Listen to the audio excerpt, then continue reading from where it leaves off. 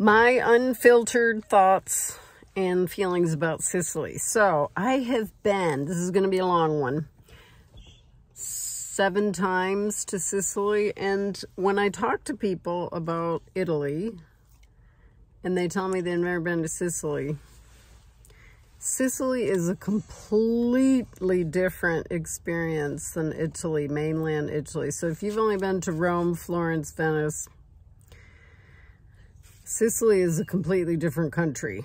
Now, of course, it's part of Italy as well as Sardinia. I've also been to Sardinia and that's totally different than Italy. Dialect is different. Um, in some ways, it's even more beautiful Sicily. I mean, I have to go back every year. I can't miss it. And I would like to live there at some point.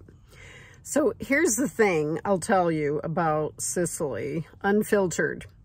First of all, the food is the best food I've had in all of the whole Italian world. Italy is my favorite country. But I do think of Sicily as very different because it's southern Italy. I haven't been to Puglia yet, um, but I have been up and down from the north to the south on the train, many, many towns, and not just the big three, Rome, Florence, Venice. I've been all over that country, and I've traveled more in the south than I have in the north. However, I will tell you, my time in the north has been very different than my time in the south. I would say that the people are even more friendly in Sicily. For example, um, a couple of times my, I couldn't use my phone, something about I think I just used WhatsApp last time. Yeah, because I had a bad experience getting a Tim SIM card there. Um, they kept charging me for a couple of years after when I was gone from the country. Um, and I asked two or three times, nice ladies, if I could use their phone and make an Italian, a, a Sicily phone call. They were completely ready to help me. Um, people were so nice. I mean, I can't say that that's not true outside of Sicily. Um, I think people are a little more reserved, but in Sicily, once um, you meet them, they're very friendly. They want to help you. Um, absolutely amazing how much help you'll get from people. Transportation. A lot of people say the trains and buses aren't good, but I think they're great. I never drive a car and I recommend that you don't, especially whenever I hear people say, oh, you don't drive a car? They're never driving. Their husband, their partner, the boyfriend is driving, not them. I did rent a car in Spain once and I vowed to never do it again because I like to have wine and I don't want to worry about stuff. And parking is a nightmare anywhere in Italy pretty much. you can get in a lot of trouble. Um, and it's not allowed a lot of places that are cool. And I like to stay in city centers, so I don't rent a car.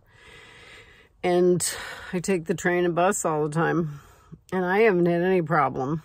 And uh, very seldom take taxis. Uber isn't available in most places that I go to. It's available in Paris.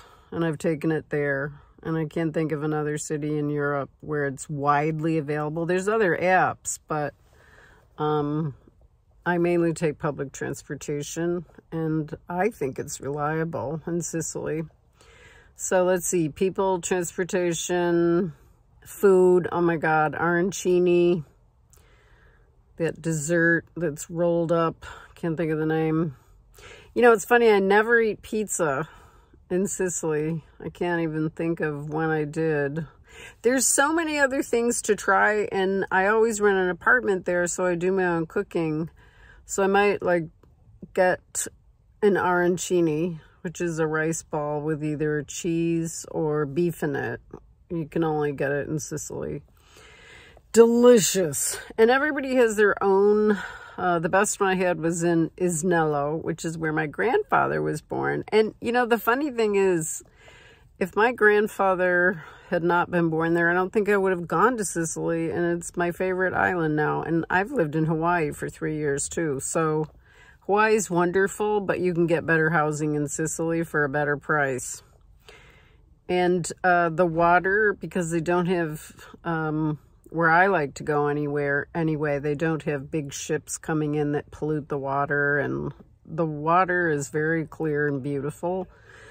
Um, and I haven't even seen all of it because I like to go back to places that I love to rediscover them. And then, of course, this last time I went to some new places, which I'm really happy that I did. I went to Noto and I went back to Siracusa, which I'm going to go and stay there for a month next 2025 and uh, I've spent two weeks in Taormina, been there several times. So, you know, I like to go slower. There's one other place that was new that I went. Oh, Agrigento, and I got to see the Greek temples. So, I've heard people saying, I think it's true, it's more Greek than Greece. Because Sicily's been taken over by so many places, um, so many cultures, Arab, Norman, Roman, Greek, and I'm sure I'm leaving something out. Um, Arabian, did I say that one? Anyway, it's a fascinating country. Um, one of my, uh, a man I rented from told me that we're standing on history here. And so when we start to renovate and we find things, fossils and things like that, um, historical things we don't tell because then we'd have to stop renovating and digging. So there's a lot of mystery to Sicilia. Um, and I don't blame them because they don't want to have to stop changing things because something has been discovered. But it just goes to show that there's a lot about that island that we don't know. Um, let's see. I'm trying to think of the best things. Oh, last thing I'll talk about is beaches the ones that I've been on, every time I go, I discover a new beach and I'm stunned at the beauty. Uh, this last time was Kalura Beach in Cefalù. So you had to, I walked, I guess it was about almost a mile. I don't even know. Oh, I saw, I looked on Google Maps and I thought, oh, that looks like a good place to go. So I went and I ended up going like every day or every other day because I wanted to jump in the water. Um, it was blue and beautiful and just gorgeous. So, I mean, that it was a little tiny beach, which would be covered with people in the summer. So I only go in the winter, January, February, or March. And I can highly recommend that because it's not as crowded. It starts, people start coming in Easter and then it just keeps getting fuller and fuller. So I highly recommend winter because the weather is surprisingly mild. It might rain or it might be windy, but it, there's no tourists and you can really talk to shopkeepers and and make some connections. They're not like sick of all the tourists coming. So I've stayed in Cefalù, Taormina, Palermo, Siracusa um, for a couple of weeks to a month. And I'd like to stay other places too. So those are my unfiltered thoughts on Sicily. I am bringing a small group, six people only. I'll have the link below if you'd like to come with us. Only six people. Taking pictures, eating, and just sharing this beautiful island with you that's in some ways overlooked by people that aren't Italian. So a lot of Italians go to Sicily because they know how amazing it is, but it's not as widely known, although I think it's more getting noticed uh, in the mainstream. Maybe it's just me though, because I love seeing new pictures and videos of Sicily all the time. So any questions you have, uh, we can also get on a call about my retreat there in February. It's a six-day retreat. In Siracusa, we'll go to Noto. and I also give advice about um, if you want to go by yourself. Sicily is a great place to go by yourself, I have to say, because it feels so safe. In some ways, I feel safer in Sicily than I do in my own country. I feel, and I've talked to a lot of local people about this topic too, and it's a comforting feeling. So don't believe all that mafia stuff because here's the thing that I've noticed. I just did a video about this. Don't believe the media about a country. I mean, there's a few countries that I would never go to because of my own vibe about it and things that I've heard, not just in the media. Um, so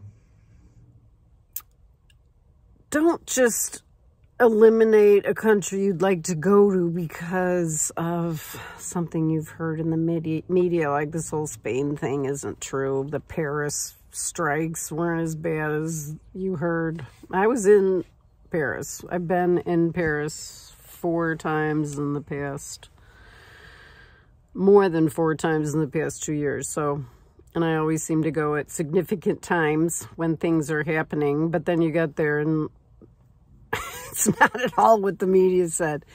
So, comment below. Let me know if you have any questions about Sicily. If you've got some comments or things you'd like to recommend about it. Or anything you'd like to say. And get in touch if you need some help. And subscribe, share, and like if you found this valuable.